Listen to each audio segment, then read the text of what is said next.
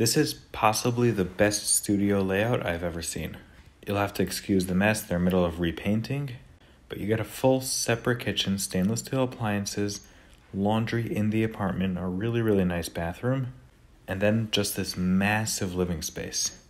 The painter was in the middle of painting and he didn't want to be in the video, so I kind of had to maneuver a little bit. But you're directly across the street from Bronx Park and Bronx Park Zoo. You have two closets right when you walk in there. There are hardwood floors under there, recessed lighting, and again, this space, all for $15.50 a month.